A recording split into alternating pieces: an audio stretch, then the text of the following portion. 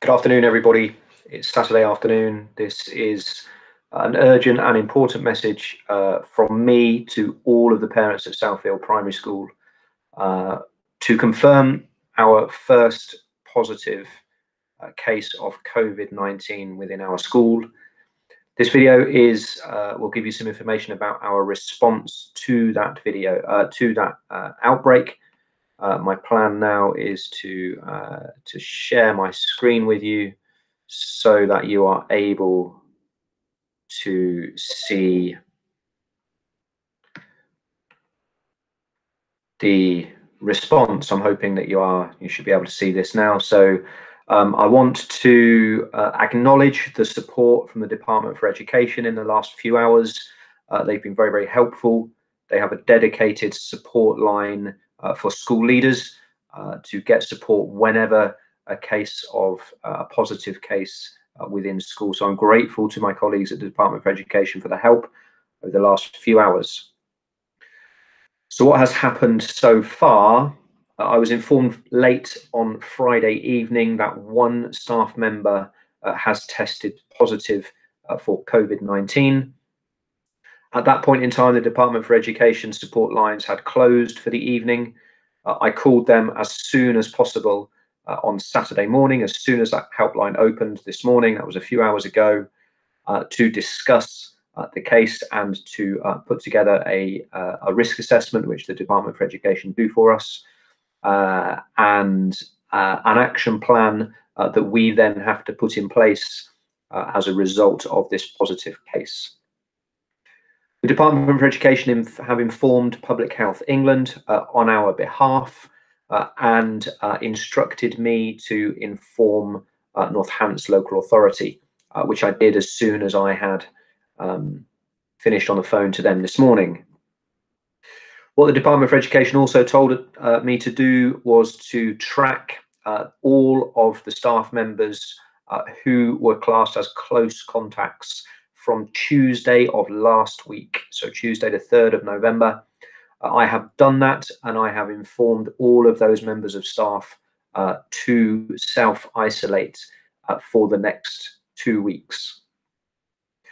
What we will also need to do is to ask some of our children to self-isolate as well. And I realise and appreciate that this will cause some disruption and for some of you some significant disruption uh, for the next couple of weeks. And I apologize for that. Uh, but we have to deal with this together. It's got to be a collective effort. Uh, we're not going to be able to get on top of this virus and stop it spreading uh, unless we follow the very clear rules uh, which we need to do. Uh, so what I'm about to detail is all of those children who will now need to self-isolate as a result of this positive case. I'm doing this on the back of advice from the Department for Education and the latest Public Health England guidance.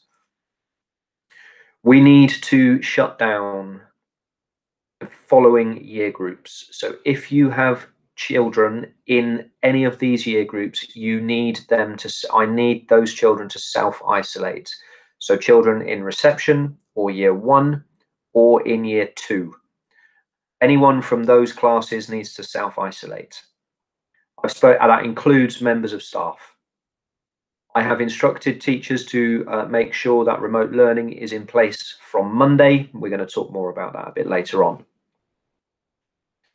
These students need to self-isolate for 14 days from November the 6th. That was yesterday.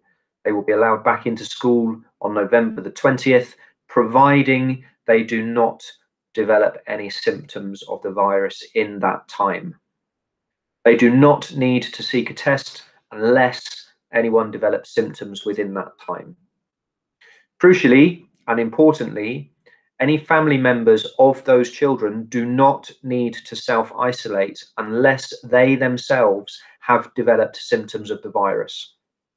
If that happens, you must get a COVID-19 test and follow the advice given. What this means is if you have students in reception year one or year two, and they have siblings in other year groups, their siblings can continue to come to school. We also need to close down our breakfast club and after school club facilities. I know that this will cause lots of disruption for people and I apologise, but we are acting on advice from the Department for Education and Public Health England, as I've already mentioned. We need to close down that provision until Friday, the 20th of November, uh, for two reasons, which I'm about to detail. Students who attended Breakfast Club and After School Club on Tuesday the 3rd or Wednesday the 4th of November must self-isolate. It's the reason this video has gone to all parents at Southfield because that provision is open to all year groups. And while we ensure that students from different year groups, when they're at that club, remain in their year group bubbles, uh, it is advice that we've been given that we need to shut down that provision and ask those children to self-isolate as a precaution. The member of staff who has tested positive has had contact with those children and therefore those children must now self-isolate. Separately, all the other members of staff involved in that provision of breakfast club and after school club are now self-isolating.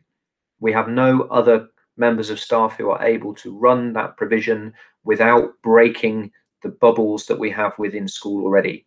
That's another reason why we need to close down that provision. I apologize that that's going to cause some disruption. But as I mentioned now, we have to take this action to ensure that we uh, make sure that this one case is an isolated case. If you've paid for that provision already, we will make sure that you get a refund in time. Talk a little bit about remote learning. Now that we have students who are self-isolating, we must, we are legally obliged to provide remote learning uh, for our children where they are self-isolating. For students in reception, year one and year two, this will be provided by their teachers and teaching assistants via Google Classroom. The students have been using Google Classroom uh, throughout the first term of school since September. Uh, staff are familiar with it, and it is how we are going to provide remote learning, where we have whole groups of children who are self-isolating. For children from other year groups who are self-isolating because they attended breakfast club and after school club last week, that may be one or two children from a particular class we will be signposting and providing remote learning for those students via Oak National Academy. The work will be put onto the students' Google Classrooms. Uh, that's because the other teachers within school are still in school working. So we will make sure that students who are self-isolating are signposted to Oak National Academy. Parents' evening, will still go ahead as planned this coming week. Because those uh, meetings are virtual, uh, they can carry on as normal. Moving forward, the school, our school will continue to operate as it has done so far. I am confident in the systems and structures and procedures that we've put in place to keep everybody as safe as possible. Therefore, providing the robust action that we are taking today uh, means that this becomes an isolated case. We don't need to do anything different. What I am going to instruct my cleaning staff to do is to uh, deep clean and extra clean all of the areas that the children and staff members who are now self-isolating, uh, I'm going to get the cleaners to deep clean those areas this week uh, so that we can ensure that those areas are uh, as clean as possible when the children come back in two weeks' time. As I mentioned, we are confident that the systems and structures and risk assessments that we have in place keep everyone as safe as possible. And I am confident that this will be an isolated case. However, we have to prepare for just in case it's not. Uh, and I will be reviewing our risk assessment um, this week to make sure that that's the case.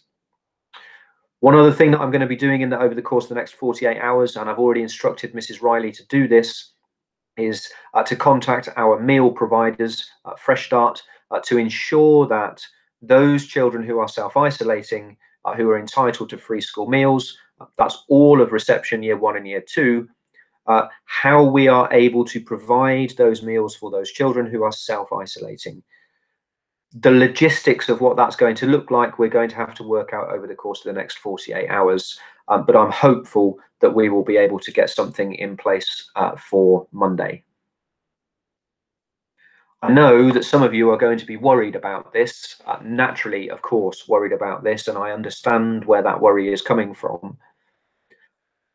But I hope that you can see uh, the, the, robust action that we are taking as a, as a, on advice from the Department for Education and from Public Health England uh, will make sure that this is an isolated case uh, and that we can contain it quickly.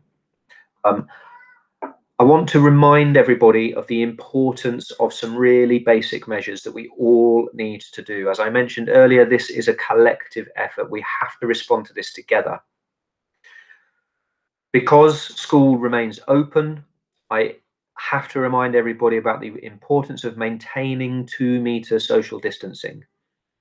I know sometimes that's tricky, particularly on pinch points around the school, the path up from the office to the gate, for example, uh, the pinch point on the path round by the back of the reception classrooms. It can be difficult. We will have to be patient and maintain our distance. We know because the science tells us that maintaining two meters is a good thing and minimizes the risk of transmission. Please, when you are on the school site, ensure you are staying two meters away from everybody. As I've mentioned numerous times before, I'm grateful to those parents and carers who are coming down to school with their masks on. Uh, I'm really, really thankful to you for doing that. Uh, if you are medically exempt, uh, then that's, you know, I'm not expecting you to wear a mask, but if you are not medically exempt, I do expect parents and carers to have masks on. And those masks need to cover not just your mouth, but also your nose. Um, there's no point having a mask if you're not going to wear it properly, so please do so. My staff now in school wear masks pretty much all of the time. Uh, and if they're not wearing a mask, then they're wearing a, a, a, a visor face covering um, please make sure that you are helping us reduce the risk of transmission by wearing your mask correctly.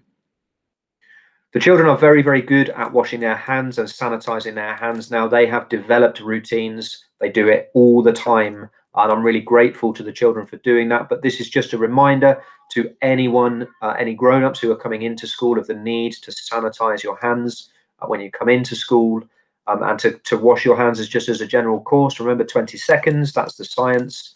Um, and so social distance, wear a mask, wash your hands. They're all fairly straightforward things that we can all do to help reduce the risk of transmission.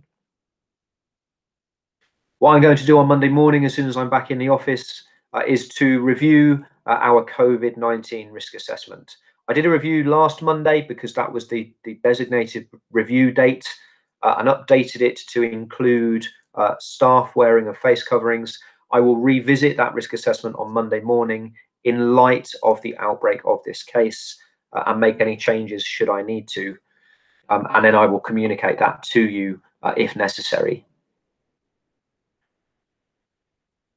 I hope that you can see that we are taking a robust action uh, to make sure that this positive case is is one positive case and it, it doesn't go any further. I apologize for the insignificance and, and potentially significant uh, significant disruption that this will cause uh, for some of you, and I am sorry about that. Um, but we have to work together. We've got to do uh, support each other during this difficult time and during these difficult couple of weeks. I appreciate as I've said numerous times, I appreciate your support and help with this. If you do have any questions uh, about anything that I've shared just now, please get in touch with me. My email address is on there. I will do my best to get back to you as quickly as possible. Uh, I'm I will be working most of the weekend uh, to, uh, to to support colleagues through the next couple of weeks and make sure that they are uh, they are they they feel supported and valued. And like I say, if you have anything that you want to ask or share, please do so. Things if I now stop sharing that, do that. The final thing for me to say is uh, uh, is just a big thank you for your support and your help uh, during the last few months, and I thank you in advance for the coming uh, support that you're going to give us in the next few weeks. Uh, it's a challenging time for everybody, and it's never been more important uh, to look out for each other, to be more kind, Uh, and uh, and to do the right thing. Thank you, everybody. Bye bye.